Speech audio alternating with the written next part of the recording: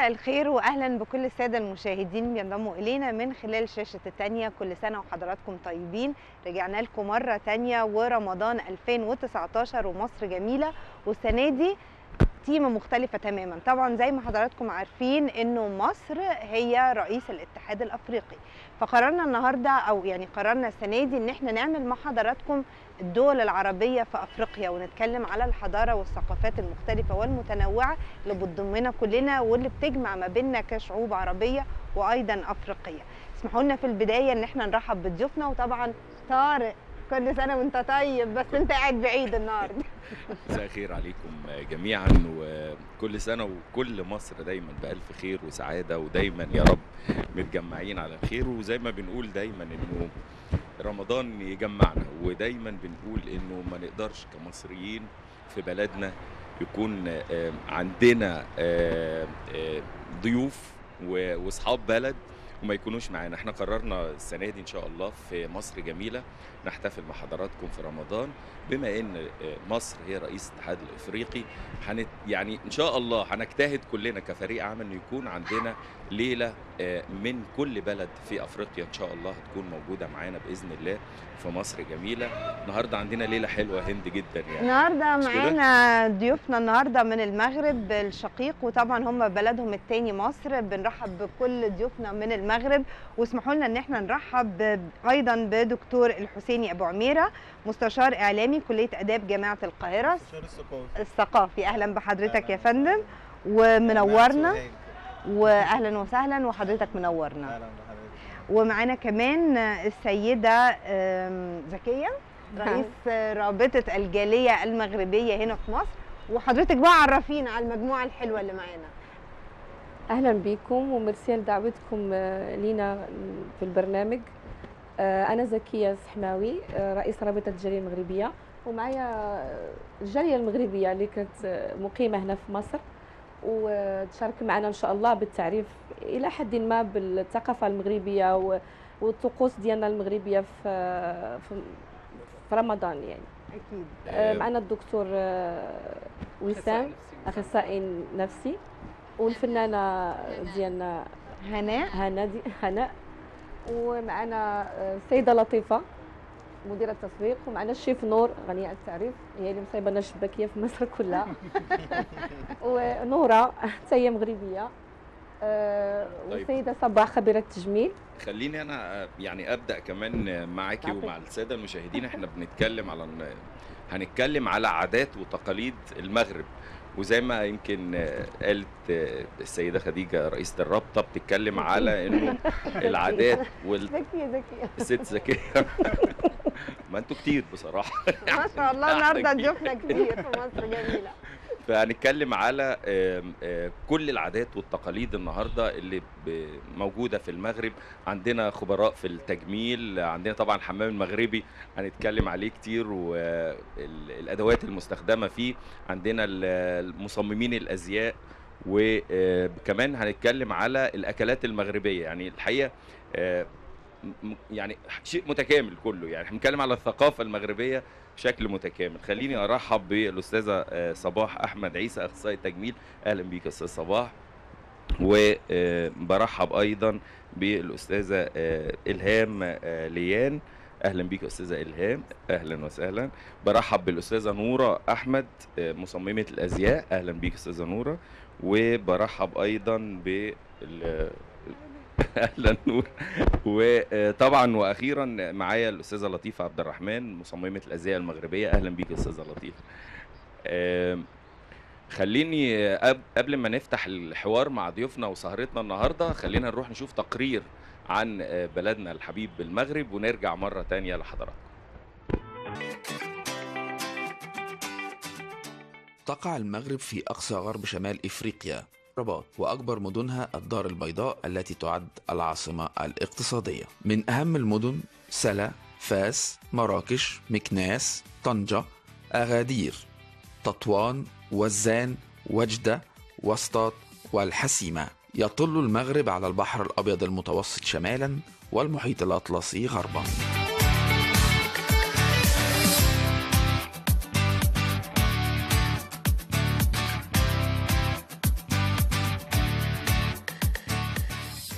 المغرب عضو في الأمم المتحدة منذ 1956 وجامعة الدول العربية منذ 1958 واللجنة الدولية الأولمبية منذ 1959 ومنظمة التعاون الإسلامي منذ 1969 والمنظمة الدولية الفرنكوفونية منذ 1981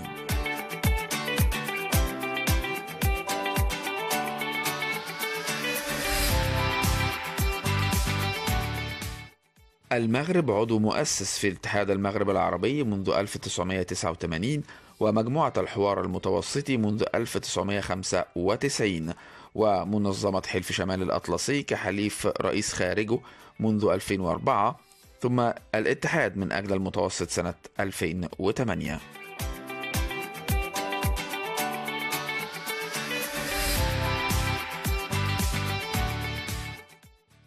المملكة المغربية بلد الطبيعة وسياحة المناظر الطبيعية الفريدة فالمغرب استفاد من موقعه في القارة الإفريقية وانفتاحه على البحر الأبيض المتوسط وانتمائه للوطن العربي ليكون البلد المضيف للعديد من السياح من مختلف الأجناس.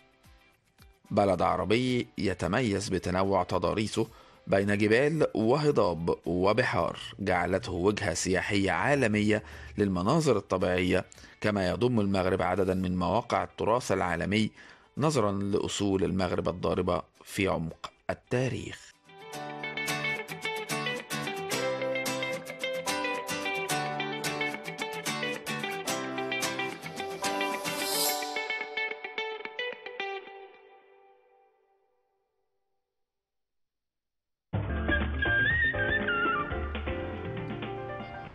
نرجع مرة تانية مع كل السادة المشاهدين ونواصل لقائنا مع حضراتكم ومصر جميلة. وقبل ما نتكلم على العادات والتقاليد والثقافات المتنوعة اللي موجودة في المغرب واللي المغرب الحقيقة غنية بيها جدا اسمحوا لنا إن إحنا نتكلم في البداية عن العلاقات المصرية وعمق العلاقات المصرية المغربية مع حضرتك دكتور حسين. تمام. بدأت العلاقة ما بين مصر والمغرب دلوقتي داخل على قرابة السبعين سنة. آه، أعتقد في سنة 1958 تقريبا. آه، لما دخل الإسلام المغرب بدأ آه، طلاب العلم والعلماء والفقهاء إنهم يجوا مصر تمام؟ وبدأوا يتوغلوا في الأمر وصلوا لدرجة وفي التجارة وفي الصناعة وفي الاقتصاد لدرجة إن وصلوا لأعلى المناصب في مصر حتى اسم اللي هو شاه بندر أو شيخ بندر ده مسجل في عندنا في الأرشيف المصري كان مغربي. آه العلاقات هناك علاقات ثقافية كانت على أعلى مستوى وحاليا. آه على مستوى البحث العلمي كان في آه 15 في اتفاقية للتمكين ل 15 بحث علمي من بين 48 بحث علمي آه تموا بالفعل. آه على المستوى ال- الاقتصادي كان في سلسلة معاهدات واتفاقيات مشتركة ما بين آه الدولتين آه على مستوى آه، على مستوى الديني تمام؟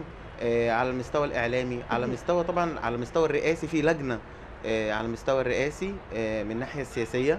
طبعا لترسيخ مبادئ القانون الدولي والقضاء على الإرهاب وظواهر الإرهاب وإلى آخره. دعم مشترك قوي لريادة إفريقيا في مصر. بالمناسبة إحنا كنا عندنا السنة دي في جامعة القاهرة عام إفريقيا. عام إفريقيا طبعا رياده السيسي مش آه، مش من فراغ يعني تمام؟ آه، قوة الدولتين بيساعدوا آه، في دور إفريقيا القوي لأن أصل القرار هو إفريقيا بصفة عامة. أكيد. طيب ده يخلينا نتكلم على تنوع الثقافات والحقيقة ان المغرب احتضنت الثقافات المتنوعة. والناس اللي جولها من الشمال والجنوب والشرق والغرب أيضا وكلهم امتزجوا مع بعض وطلعوا ثقافات متنوعة ولكن بطابع مغربي. إيه الثقافات المتنوعة اللي عندكم أستاذة زكيه آه، بالنسبة للثقافات إحنا عندنا ثقافات بزاف أكيد.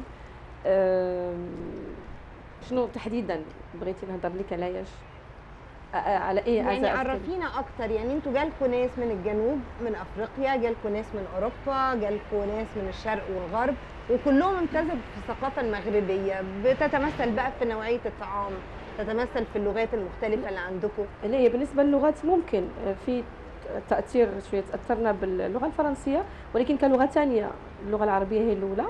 وبالنسبة للثقافة المغربية ما تبدلاتش ما تأثرت حتى بشي حاجة جات من برا يعني الطبخ المغربي هو هو ثقافتنا آه، كتجميل كالأعشاب ديالنا كل شيء هو هو ما ما تغيرش. لما تغيرش. لا ما فيش حتى شي حاجة طبعت باوروبا بس أنتوا صدرتوا ثقافتكم للخارج لأنه الحمام المغربي ده. مشهور جدا في كل مكان. في كل حتة.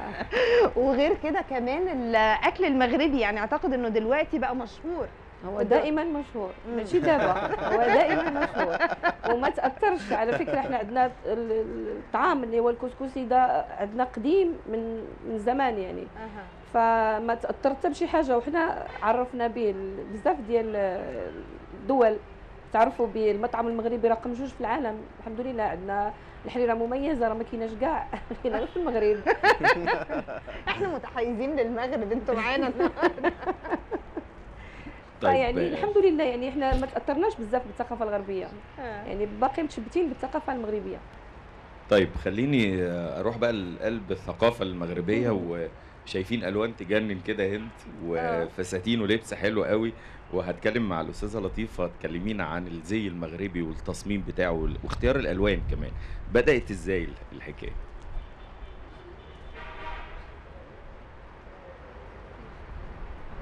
رمضان ولا العيد كنقولوا مبارك العواشر ومبارك رمضان عليكم و علينا وعليكم إن شاء الله أجمعين أه، حضرتك بغيتي نهضر معك على ال- اللبس المغربي أه، اللبس المغربي طبعا يحتل المرتبة الأولى في العالم كله لأن الملابس المغربية مم. تاخذ الصدارة مم. في التصدير ديالها العباية العباية المغربية. سواء آه. بالنسبة للرجال أو للنساء. وحتى الأطفال مم. فلينا طقوس وعادات ما كنتخلاوش عليها. يعني الحاجات دي من من زمان من العهد القديم ديال الملوك وسلاطينة المغرب كلهم. القفطان المغربي حتى الدرجة الأولى. آه صحيح دخلت عليه تعديلات جديدة في التكشيطة في القفطان في الجبروت في- لكن يحتل الصدارة الأولى طبعا. و اللون الأساسي في لا ال- اللون الأساسي ده ما فيش لون أساسي كل واحد كيلبس حسب اللون اللي. يبغى إنما الموديلات كتختلف من سنة لسنة. يعني مرة تكون الحرير مرة كيكون آه، القطيفة مرة كيكون الشيفونات. آه، الشغل كيختلف موديل على موديل كل سنة نطلع بموديلات جديدة. حيت المرأة المغربية ديما خصها تشري جديد. وتتشتري بزاف. دائما عندنا في ال- العادات ديالنا في رمضان والاستعدادات ديال رمضان كيكون الإقبال بزاف على ال- اللبس والعبايات عشان طقوس رمضان. الناس اللي كتمشي للجامع سواء العيالات الستات أو الرجالة. و يعني وكمان كي كيزيد الشراء ديال العبايات المغربية لما يجي قرب العيد. كاع الستات كلهم بتاع المغرب لازم يخش العيد يكون عندها طقم مغربي جديد كامل لازم. كامل آه. آه. بالإكسسوارات آه. بالجزمة بتاعته بال... عشان لما يخش العيد وتروح عند أهلها وأهلها يجوا عندها لازم تستقبلهم مكلف بز- بقى طبعا طبعا القماش بس طبعاً. لوحده طبعاً. غالي طبعا يعني أكيد آه يعني فالقماش بس لوحده بالشيء الفلاني آه ما بالك بقى الشغل اللي حتروح توديه لعند. مصممة الأزياء عشان تشتغلوا لك والخرز والترتر والحرير. يعني طبعا وكله hand made كله شغل يدوي. مم. يعني مش مكن ولا حاجة لا. كله يدوي. كله يدوي. جميل. آه. آه، تحب تعرف الأكلات؟ بيديله بيديله غنى. يعني أنا آه بشوف. إن الزي آه، المغربي أو القفطان. المغربي غني في شكله غني عن التعريف. مم. يعني أنا بنشوف بيبان على التصدير طول. آه في الميدان كله. بالتصدير لاوروبا ودول يعني إحنا بنعرف إن دول الخليج العبايات بتاعتهم حاجة حاجة جميلة.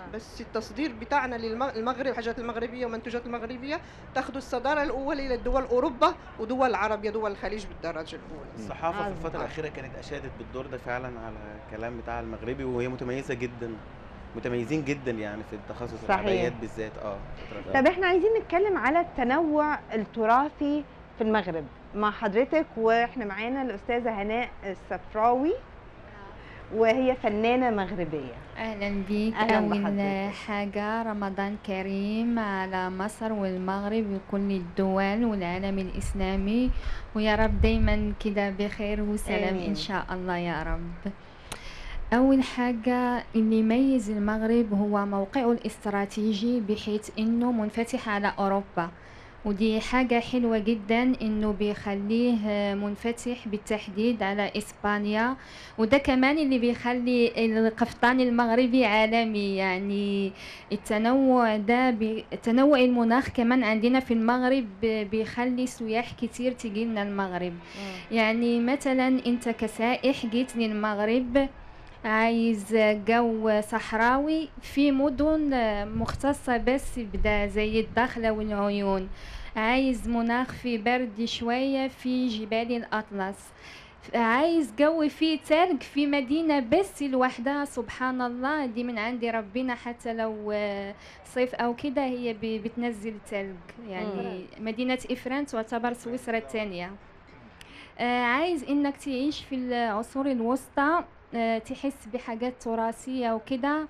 آه، مدينة فاس مدينة مراكش. مدينة مراكش ده على فكرة مصنفة من اليونسكو عالميا تراثيا يعني أنا أسمع معروفة. عندكم هناك سوق كبير قوي في جامع مراكش. ال- الفنا هو اللي مصنف من اليونسكو عالميا. ده. جامع يعني آه، بي بيتميز بتنوعه بتراث بحاجات كتير جدا. واللي بيميز المغرب إنه في تنوع عرقي كبير جدا على فكرة. يعني إحنا مغاربة آه، في مغاربة عرب ومغاربة غير عرب اللي هم بقى مين؟ مين؟ اللي هم الأمازيغ. الأمازيغ معروفين جدا في المغرب العربي وكمان أسمع إنه في أمازيغ في مصر يعني في أقل. أكيد. آه. ده خلينا نتكلم على اللغات واللهجات المختلفة. آه صح. اولا آه، رمضان كريم. الله أكبر. آه، بالنسبة للغات أول حاجة نتكلم مصري ولا نتكلم مغربي؟ مغربي بقى. إحنا يوم مغربي النهارده. هو حاجة- بسيطة. اتفضل. آه عايزة أقول إنه رغم التنوع العرقي ده في المغرب ده مش بيعتبر ضعف بل اللي مي- يميز يعني المغرب إنه رغم التنوع العرقي ده ده قوة كبيرة له عشان كلنا بنتعايش يعني بسلام و لأن إحنا مؤمنين إن الاختلاف دي طبيعة ربانية من عند ربنا. وحاجة تانية غير العلاقات القوية ما بين المغرب ومصر. عايزة أشيد إنه في تراث يعني مشترك بيننا وبينكم. يعني مثلا مولد السيد النبوي آه، ده مولد آه، تحفة في طنطا صح؟ آه. ده السيد بقى البدوي. آه، ده بقى أصله من المغرب على فكرة. أكيد عارفة المعلومة دي. أكيد. فيا رب دايما كده آه، نفضل يعني أكيد إن شاء الله. يعني العلاقات قوية بلد يعني. شقيق وأنتوا طبعا آه. في بلدكم التاني مصر. لا أنا مش بحس إن أنا في بلدي التاني على فكره زي مصر زي المغرب ما فيش فرق على فكرة. عشان مصر هي مش بس أم الدنيا على فكرة هي قلب الدنيا.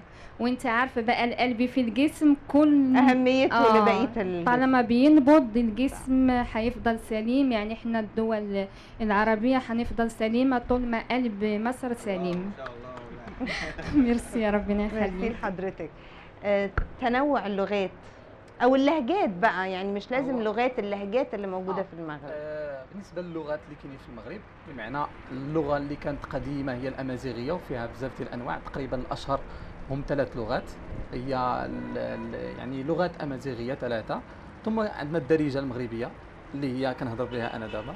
هذه الدارجة المغربية اللي هي قريبة من من اللغة العربية وقريبة يعني شوية من اللغة العربية شوية من اللغة الفرنسية وشوية من ال- اللغات الأخرى اللي هي أمازيغية. فعندنا واحد الخليط فخرج لنا ما يسمى بالدارجة. يعني زي العامية في ال في ال في اللهجة المصرية. في اللهجة المصرية. فدول لغات هم الأساسية في المغرب. أما مع العولمة والتقدم وكده بقينا نتكلم كل شيء كيضرب بال- بالدارجة. يعني حتى الناس اللي في مدن آه، فقط أصلها أمازيغي تتكلم بالدارجة وتفهم الدارجة. هذا التنوع يعني آه، اعطى واحد ال- الانسجام بين الثقافات المغربية وحتى آه، كما ذكرت الاستاذه وذكرت رئيسة الجالية أن ال- ال- ال- المغرب متنوع ثقافيا بمعنى أن أي أي أي حاجة عايزها يعني أي أي نوع ثقافي تجده صحراوي تجد ال ال ال ال ال يعني في الشمال لو ذهبنا في الشمال حنلاقي إنه مختلف تماما عن عن الوسط ومختلف تماما عن ال- ال- الجنوب الجنوب مثلاً. بمعنى إن في تنوع ثقافي جميل وحتى من ناحية اللغة إني أصعب شيء نلاقيه في مصر إني لما نتكلم مع حد بالدارجه المغربية ما كيفهموش يعني ما بيفهموناش. طب جربنا ممكن كده صعوبة نشوف صعوبة اللغة لا. ديالنا ما عرفتش ممكن. هو هو بس يعني معلومة طبعا يعني اللي بيجي مصر بيتكلم مصري على طول يعني. صح عشان الافلام. يعني دخل دخل الفرنساويين دخل الإنجليز كله مش يتكلم مصري يعني. صح. هي دي مصر يعني. لكن خليني أنقل على ال- التراث المغربي عندي. أنا عندي مصممة أزياء وعندي شيف وعندي مرشد سياحي. هبدأ مع الشيف نور آه، الأكلات المغربية من الأكلات اللي أصبحت بتاخد طابع العالمي الحقيقة. والمطعم المغربي ده بيبقى موجود في كل بلد تقريبا يعني. كلمينا أيوة عن. الأكلات المغربية من فضلك.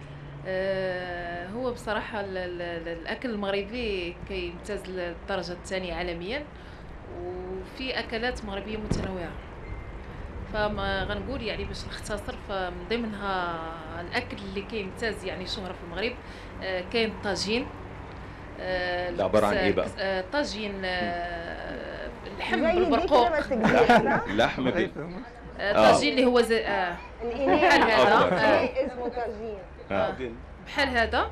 ولكن كيكون الداخل ديالو لحم بالبرقوق.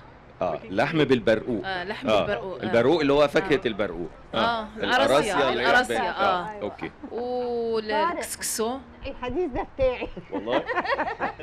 أنا بس بحب الأكل تعرف اتفضل والكسكسو آه، الرفيسة آه، البسطيلة اللي لا هي لا معروفة. ترجمة استني بس واحدة واحدة كده.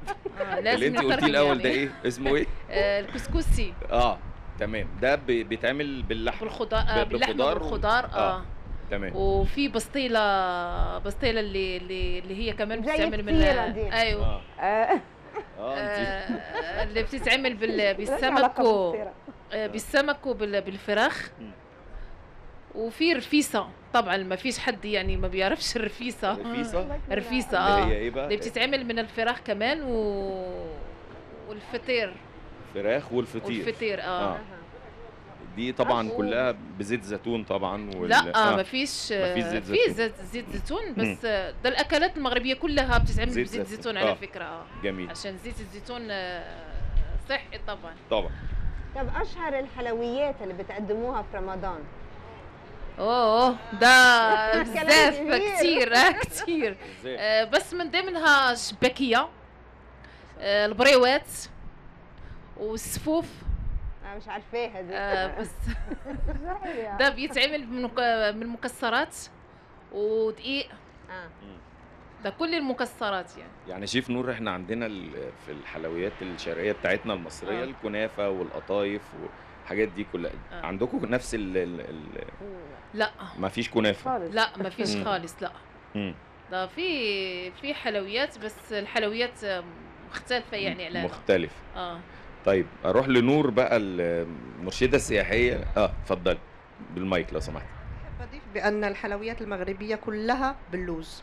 معظمها باللوز مم. يعني ما تلاقيش عندنا حلويات بالدقيق ولا حتى لو تعمل عجينة عجينة اللوز. مم. كعب, كعب الغزال ده مشهور كله باللوز. آه. البريوات باللوز بسطيلة باللوز. مم. يعني حاجة الشباكية باللوز مم. ومن ضمن الحلويات اللي كان نعرضوها في رمضان هي الشباكية وسليلو ده على كل ترابيزة في المغرب دو لازم لازم يعني اللي موجود. عنده واللي ما عندوش لازم هادوك طقوس رمضان إيه آه في الاكل بقى؟ الحريرة الحريرة ده حريرة. الشوربة آه. ال- ال international يعني في العالم كله معروفة طبعا.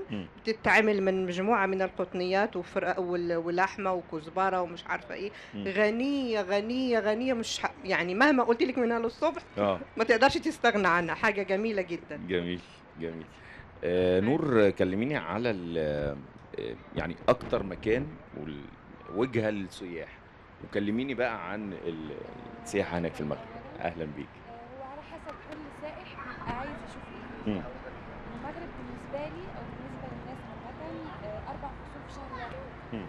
يعني لو عايز غابات عايز جو ساقع آه، تلاقي غابات آه، شلالات آه، سدود كتير.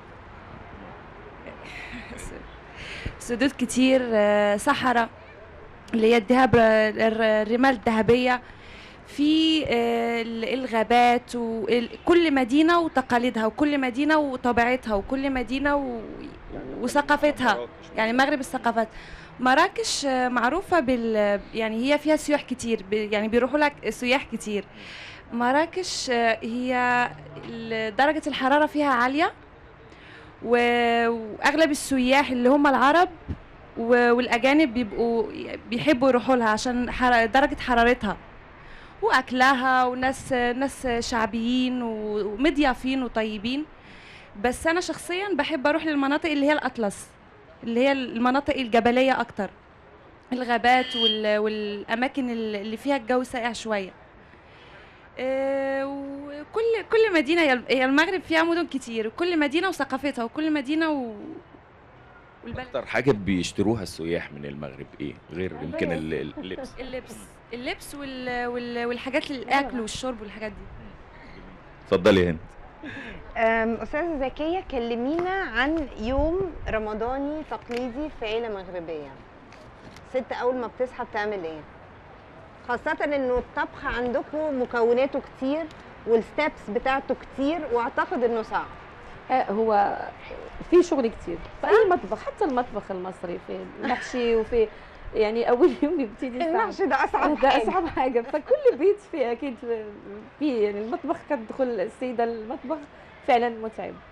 آه، بالنسبة لنا إحنا كمغاربة آه، نهضروا على اليوم رمضاني كيفاش كيبدا الصباح. بون كتنوضي أكيد بعد الصلاة و كتوجدي دارك وداك الشيء. بون كنجهز البيت.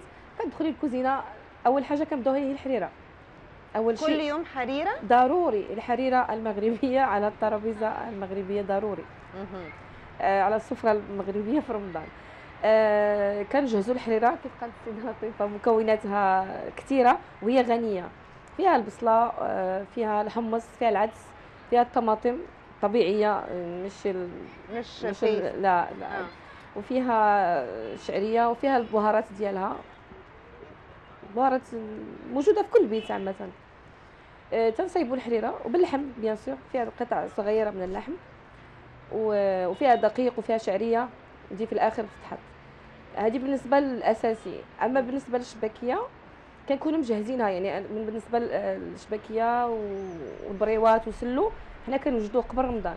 يعني بتعملوها قبل آه، رمضان. صافي غير كيقرب رمضان صافي كنبداو نوجدوا الشباكية ديالنا. لأنه الشباكية كتاخذ وقت كبير في في, ال- في العمايل بتاعها. اللي يعني. هي عبارة عن إيه؟ أيوة، شوف نورا يلاه هضرت عليها. يعني عجينة باللوز وفيها مكونات أخرى آه، جنج آه، سميتو السمسم جنزبيل ولا لا السمسم آه. ياك جنجلان. آه، سمسم وفيها اللوز ودقيق و... ومكونات ثانية. يعني آه، سميتو النافع و حلاوة؟ يعني مش مهم آه، بس لا يعني باش نعطي فكرة يعني الناس تعرف شنو المكونات ديال بالنسبة للمصريين أما المغاربة أكيد عارفين آه، شنو هما المكونات. آه، هادو كنوجدوهم قبل. بالنسبة وسلو حتى هو كنحمروا الدقيق هذا كنوجدوه قبل لأنه فيه شغل كثير. حتى هو فيه اللوز وفيه سمسم. و- وحاجات ثانية برضو مم. فهذا الشيء كيكون already موجود يعني قبل رمضان بتتجهز قبل آه رمضان. كاين بنحطوها في علب بتبقى موجودة جاهزة هتجهزوا آه. طول رمضان طول شهر آه رمضان بنجهز لرمضان كله مم. لأنه هي أصلا يعني كل كل بيت عارف الكمية اللي غادي يستهلكها آه طبعا. هي أساسا بتعمل كثير يعني كيلو كيدير لك آه، جوج كيلو كل. دقيق بيعمل جوج كيلو أو تقريبا جوج كيلو ونص آه bon بالنسبة لهذه المسائل هذه كتكون already موجودة في في البيوت. فاحنا كنصيبوا الحريره هي الأولى ومن بعد آه كنصيبوا البطبوط معمر بال- بالكفتة أو معمر بال- بالدجاج. هذا البطبوط هي عبارة عن عيش صغير كده مغربي سميتو البطبوط. وتنديروا المسمن اللي هو الفطير المغربي ولوش يعني قريب إلى حد ما آه، للمصري. آه، وانتوا بتعملوا الفطير من أوله لآخره ولا يعني في حاجات جاهزة وانتوا بتحشوها وخلاص؟ يعني أنا عارفة إن الستات لا بنعجن بنع... لا بنعجن. كان نعجنوا ال- البطبوط آه. وكان نفتحوه في الوسط وكان نديروا الحشوة اللي هي كنوجدوها هذا بالنسبة للإفطار المغربي. أها. آه على حسب كل بيت. كاين اللي كيدير ال- البطبوط كاين اللي كيدير المسمن. المهم ولكن هذا ضروري تيكون على الطبلة المغربية في الفطور. زائد التمر أكيد. وبالنسبة للعشاء حنا كنوجدوا عاوتاني بالنهار. كنديروا طاجين كنديروا شلاضة آه، بنعمل طاجين أو آه، سلطة زي ما بتقولوا. آه، ولكن في التقديم آه. حنا كنحطوا في السفرة المغربية كنحطوا عصير أو أتاي برد أتاي bien sûr بحال هذا أتاي ده الشاي. الأخضر. آه الشاي الأخضر بالنعناع. و وتنحطوا شباكية وتمر وسلو وداكشي اللي قلت لك من شوية وجدنا البطبوط وجدنا مسمن. و صافي هذا هو الفطور الشاي الأخضر بتشربوه مع الفطار إحنا عندنا بنشربه بعد الأكل. لا كاين اللي كيحطو كيبج- كيشرب مع الفطور كاين اللي كيبغي يشرب قهوة كاين اللي يشرب عصير أو الحليب. هي كل بيت و...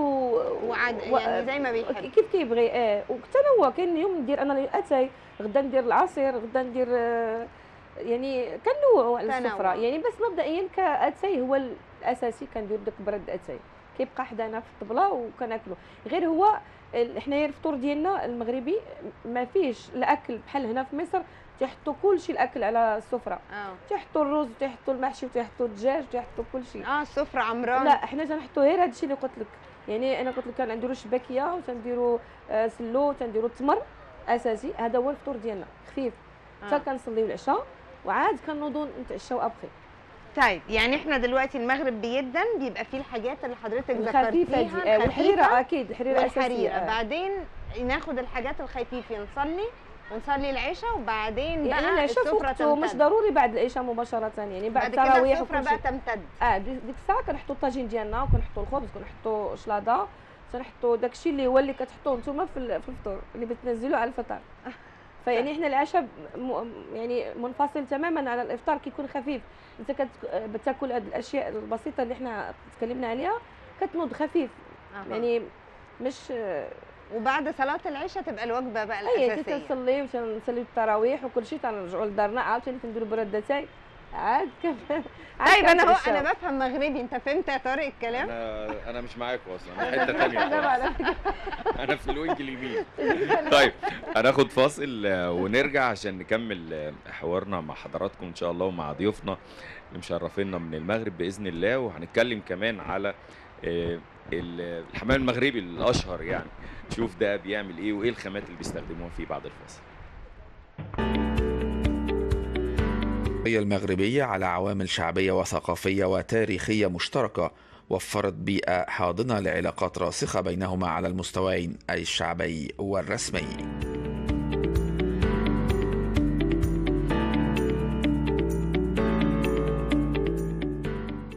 مصر والمغرب شركاء في ملفات العمل الوطني والإقليمي والدولي المشترك والمتمثلة في توظيف العلاقات الدولية في دعم وتأمين الاستقرار الداخلي والتنمية بالبلدين والانفتاح على العالم الخارجي للاستفادة من التجارب المختلفة والالتزام بسياسة خارجية متوازنة في إطار استقلال القرار الوطني ودعم مبدأ الاحترام المتبادل بين الدول والتمسك بمبادئ القانون الدولي ومكافحة الإرهاب.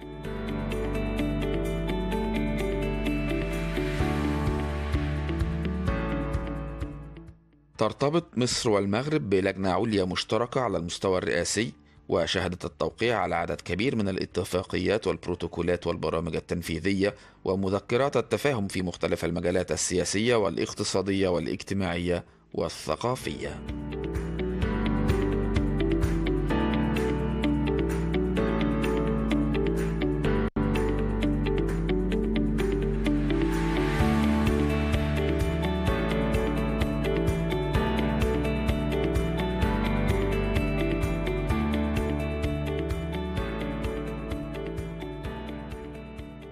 مرة تانية مع حضراتكم ونواصل اللقاء ومصر جميلة وطبعا حدثنا عن المغرب الشقيق ومعانا متخصصين كتير في مجالات كتيرة معانا الأستاذة صباح وطارق كان بيسألها سؤال قبل ما طيب. نطلع فاصل على ما الاستاذ صباح تجهز وتكلمنا على الحمام المغربي يا هند آه، هنتكلم على العادات والتقاليد في الزواج في المغرب آه، يعني. مختلف. و... و... وطبعا أكيد يعني بيبقى مكلف زي ما أنا عارف أو عندي المعلومة يعني. طيب على ما تتفضل أستاذ صباح اتفضلي حضرتك عشان تعرضي. آه، كلميني يا أستاذة إلهام عن الاختلاف بين الزواج سواء في مصر أو في المغرب العادات والتقاليد. بتاعتكم شكلها إيه؟ اتفضلي. أول حاجة مساء النور عليكم. وكل سنة وأنتم طيبين. وأنا سعيدة جدا بتواجدي معاكم النهاردة. آه، بالنسبة يعني ما فيش اختلاف ك- كتير بس في العادات يعني كبداية في الزواج وتكاليفه بالنسبة للمصري بيكون كتير. بيقولوا كده. المصريين أكتر. بيقولوا إن كتير. آه. بس المغرب أكتر. آه. يعني إحنا عندنا العرس يعني بيكلف كتير. مم. آه، صداق كذلك. وعندنا اللبس المغربي اللبس واحد ممكن على الأقل عشرين ألف جنيه زي ما بتقول. آه. آه ال- اللي هو بقى ال- العبايات المغربية أيوة. بالفستان الزفاف أيوة. صح كده صح. وكذلك يعني آه عندنا حاجات يعني في العرس آه بيكون مكلف جدا مم. بس كل واحد على حسب كلميني على. المهر والشبكة عندكم حاجة كده المهر والشبكة أيوة طبعاً. إيه بقى بتبقى إزاي بتبقى بس على كل قدر كل واحد يعني مم. استطاعة الزوج. آه. لاز- بس لازم يكون في شبكة الذهب أو أيوة أكيد. الزواج أو كده. أيوة أكيد. مم. مم. حسب الاستطاعة يعني. استطاعة الزوج. يعني أقل حاجة ممكن تبقى كام مثلا؟ أقل حاجة بالمصري؟ مم. أقل حاجة عشرة آلاف. 10000 بالنسبة للخاتم إحنا ما عندناش الشبكة. هناك. 10000 دي يعني. لل- كام؟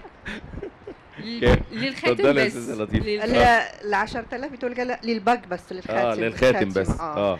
بس ممكن أضيف حاجة تانية؟ اتفضل آه، بالنسبة للفرح المغربي العريس لما يجي يتقدم لعروسته بيجيب لها حاجة اسمها دفوع أو الزغاريط مم. يعني دي عباره دفوع دفوع. يعني آه. مم. آه، الهدية. آه، زي الهدية آه الهدية. مجموعة هدايا يعني مش عاوزة أقول لك بيكسي العروسة من A to Z آه. هي ما بتجيبش حاجة. إز- زي إيه خاصة ده باللبس هو بس؟ رايح يتقدم ها آه هو بيتقد... لا تقدموا خلاص واتفقوا. كل بيجيب لها كل حاجة منها آه. ثلاث حاجات. كان زمان سبع حاجات. آه. كل نوع سبع حاجات. دلوقتي صار كل حاجة تل... عشان غالى طبعا. آه. كل حاجة ثلاث حاجات. يعني من من اللبس من ال... كل لبس مثلا زي ده بال shoes بتاعه بالشنطة بتاعته. آه sorry يعني حتى ال underwear. لل chemise de nuit. آه كل حاجة. آه.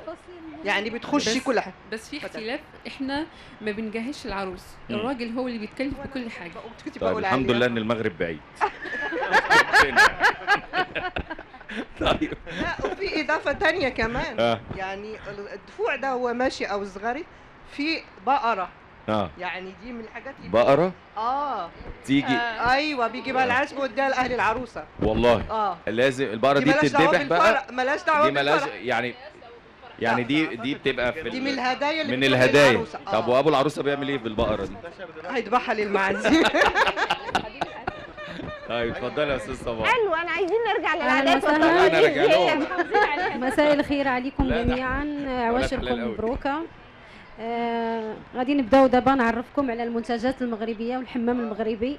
وما هو وما أدراك ما الحمام المغربي. يعني الستات ما, ما تفوتهمش التفاصيل المملة. الحمام المغربي عبارة عن آه، آه، صابون مغربي اللي هو بزيت الزيتون وكاين الكيس اللي معروف بالليفة قفاز وكاين الطامي والورد والحنة والعكر الفاسي. والداد عشبه سميتها الداد. هاد هاد هاد الأساسيات لازم تكون في الحمام المغربي لازم. وكل آه، حاجة ليها فايدة على الجسم. طبعا طبيعة. مم. كلها طبيعية دي الميزة ديالها طبيعية 100% الحاجات دي مش موجودة عندنا في مصر؟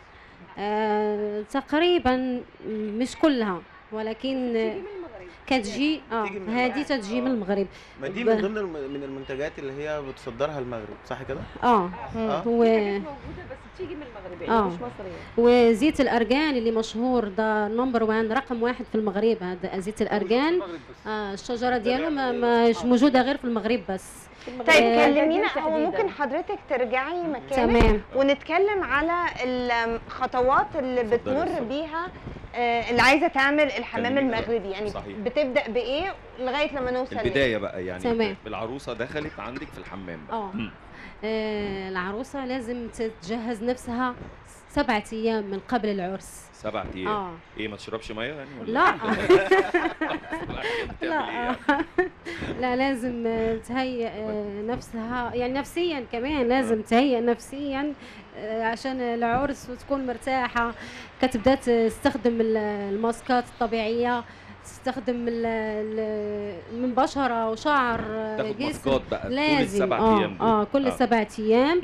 وآخر شيء كيكون هو الحمام المغربي. كتجلس في البيت كتبقى دير ماسكات سبعة أيام كنحبسوها في في الدار ما كتخرجش. تتحبس ما حدش يشوفها. تتحبس آه. آه. ما تخرجش من الدار لازم نديروا لها الماسكات من الشعر من الوش من طبعا دي غتكون ملكة يوم فرحها يوم العرس ديالها. خالص يعني. لا خالص كتجلس في البيت كيف ما قلت لك كنحبسوها. آه.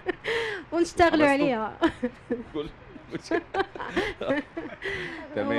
وبالنسبة لل- للماسكات والحاجات اللي تن تديرها العروس أو أي سيدة مغربية ماشي شرط العروس. آه الأساسي هو س- آه الحنة والغسول اللي كيتعرف هنا بالطمي والعكر الفاسي والعشبة سميتها عشبة الداد. وهاد الحاجات كلها طبيعية 100% متواجده في المغرب. تقريبا ما تلقاهاش في شي بلاصة أخرى.